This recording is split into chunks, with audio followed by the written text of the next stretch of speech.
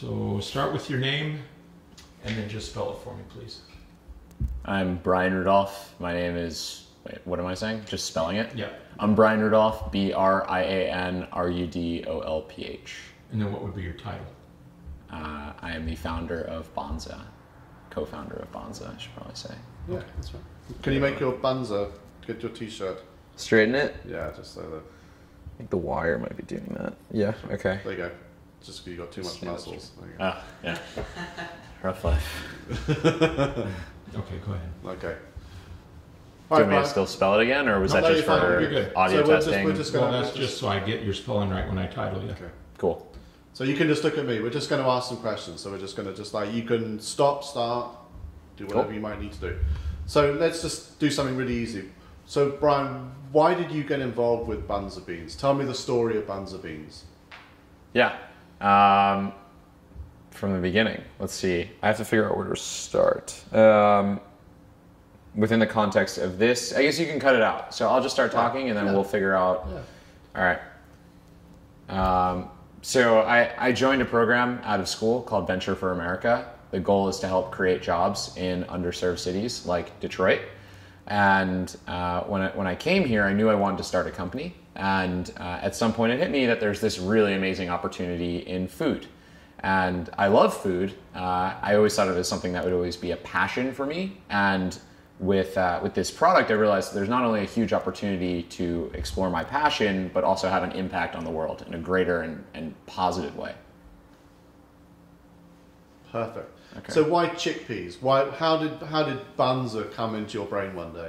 Uh, chickpeas are in many ways the perfect food. Uh, there are very few foods that are both nutritious and delicious and also affordable. And to get all three of those in one is pretty incredible. It also ends up looking just like wheat, rice, or corn and has the right color.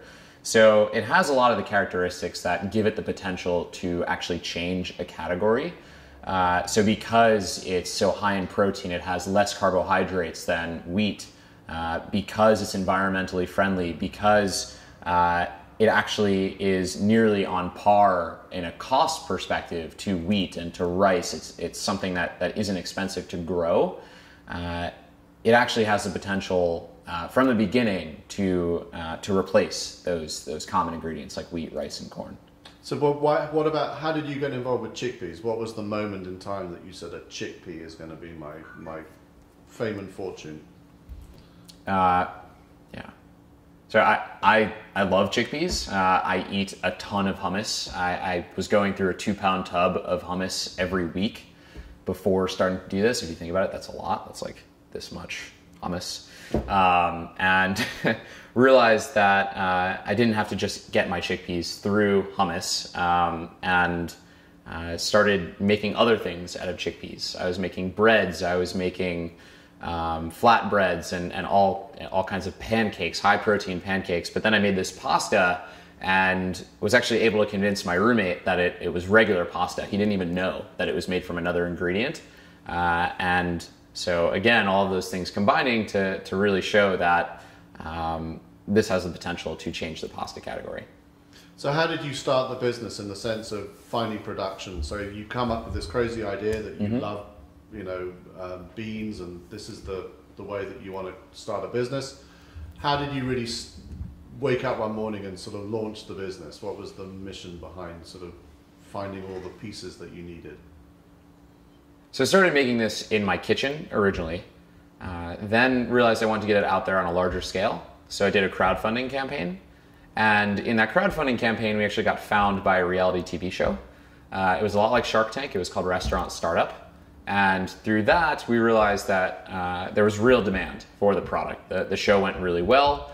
And then, uh, while we were still really not at scale yet, um, Meijer actually discovered our product and uh, was the first store out of any to carry our product. So before we had even entered a store, we had suddenly sold to 215 stores.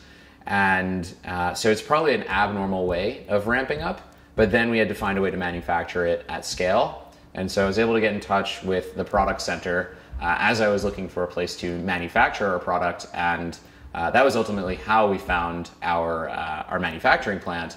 was was through the product center, through a referral, and uh, it initiated the conversation. And, and uh, Micah was fantastic to be uh, to be helpful in that conversation, and it's it's really just taken off from there. And what, what would you say has been the hardest thing to achieve in starting up this venture? What's the thing that's been just the biggest nightmare for you? Well, right now the hardest thing is actually just keeping up with demand, which of all problems isn't the you know. Uh, uh, it's it's a good problem to have to be trying to keep up with demand, um, but we have some incredible retailers that want to carry our product, and um, because of our capacity right now, we are are fighting that challenge, and uh, you know we've we've put a few big opportunities on hold actually. Uh, and we're, we're ramping up. We're currently in the process of increasing our capacity so that we can fulfill orders like that. Um, but that's that's our biggest challenge at the moment. Um, of course, there's always the challenge of building awareness. You know, there are still a ton of people who haven't heard of Banza. I'm sure most of the people seeing this video haven't heard of Banza. Uh, so there's that as well. And we're always out there. We're doing demos. We do Eastern Market every Saturday. We're we're doing everything we can to connect with the consumer so that they know that this product is out there, that it's a better version of pasta, and that it's what they should be eating.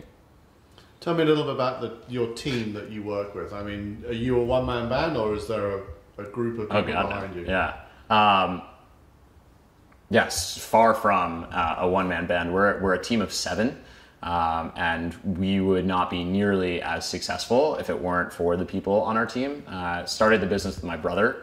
He originally worked in private equity, uh, so he brings to the table an incredible amount of experience from a unit economics standpoint, making sure that when we make decisions, they make financial sense. Um, we also have, have grown out our team. Uh, we've hired a few people from Venture for America, the same program that I did. People straight out of school who are incredibly hungry and willing to learn. And uh, we've thrown them into the fire and they've figured out how to do some incredible things, whether it's account management or, or uh, our, our growing social media presence. A lot of that has come from people who have never really had a job before, but they came through Venture for America and they've just taken it on. Uh, and then we, we also have someone on our team named Chris, uh, who previously worked in investment banking. And uh, he is an incredibly organized person. And uh, he puts structure to things and processes in place that uh, is, in many ways, I think the reason why we continue to be able to make this product at such a large scale is because of the, the things that he does. So um, we're a pretty well rounded team. We, we uh, I think we really benefit from the fact that we have some people who are thinking very creatively, people who are thinking very process oriented, but we all do a little bit of everything. Uh, and so it works out. So, if you were to give me your best shot at a marketing person now, how would your advert look like for Banza Beans? So, like, give me your give me your thirty second spiel on on Banza Beans. On, on what it is. Tell me, you can say whatever it is, but you could. I'm now sitting in front of you with a big check, and I'm Sure. going to write that check depending on whether you can sell it to me or not. So, Sure. tell me, give me your thirty second pitch on On the product or our company? product. Sure. Um, so this is this is the next generation of pasta. Uh, if you look at it, it looks it cooks just like regular pasta, but it has double the protein and half the net carbs. So if you're going to eat a pasta, there's really no reason why you wouldn't eat this. That's really what we've stood by since the beginning, and it's what we continue to stand by today. Is um, again, it's it's the perfect pasta. There's just there's just no reason not to eat it. Sound good? Sound good. So just Cool. and then just quickly again, just so just and again in a, in a sort of a can sort of a moment, just tell me a little bit about what the product center is. Actually, I know that you said that you, they've helped you with finding a manufacturing places. Yep. Mrs. Glee's up north. What other things? is- What what have you done for him, Micah? Uh, I mean, I think that was the main thing. That was that was big. Because, you know, when we met, it was just, uh, It's it's consistently providing resources though. So can we talk about that? So, Yep. so, so I think that's one of the things we really like to sort of get Yeah. across to, to our clients is that Sure. The product center, yes, it can find solutions, but it's a place that you can go to at any moment and just sort of say hi or you know I'm Yeah. I'm lost or whatever. That's So- happened. Uh, just again, you know, like just talk a little bit about what the product center's done for you in manufacturing, but just maybe it's just a place that you can go, and Mike has just been able to have. It's just another person to bounce things off. Yeah. So just talk a little bit about that. Uh, So the product center has been start off with the Yeah. product center has done for me whatever. The product center has been an incredible resource for us. Uh, Sorry, take time. all right. Um, This is where the lies start. This is Yeah. where, the, where your nose grows and your Pinocchio comes out. it does. It does feel. It feels a little bit canned, but Well, that's um, okay. yeah. It no, won't it be is. canned, I It, promise you. it is. It is genuine. So Good. Um, the product center has been an incredible resource for us. Everything from you know when we initially found our manufacturing plant to when we have questions about what to do next, whether it's shelf life testing or just finding a resource that we know exists in Michigan, but we might not know the direct person to reach out to. We know that the product center is there to connect us with their contacts that they've already been working with, so we can keep as much as we possibly can within the state of Michigan and find the people that are best to possibly, or the best possible people to work with. Okay. Does that work? That's fine. That's fine. And then the last question is that we're just going to ask you to say, My name is Brian Banza, uh, and I'm from Banza Pasta, and I'm delighted to accept on behalf of the MSU Product Center Entrepreneur of the Year Award. All right. I don't know what the word is. Is it entrepreneur? Entrepreneur. Okay. So, All right. my name, so you know, and it's All right. straight at the camera.